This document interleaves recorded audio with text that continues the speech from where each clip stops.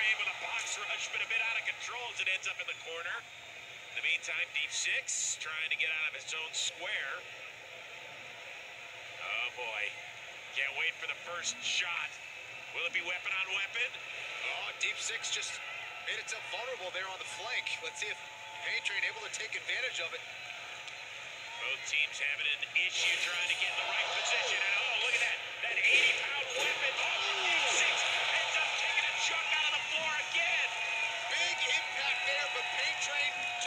damage to that right wheel, Chris. And with their two-wheel configuration, that's going to be a problem. Well, it can get around still. The question is, can it figure out which direction to go? And uh-oh, we got some more rubber on the floor. Uh, this is a real problem now, Kenny. Yeah, and it's lost contact with the floor on that right side. That's not good. Oh, no. Oh, my gosh. Pain Train in some serious pain. Look at that fire. They say there's nothing like an open flame, Kenny.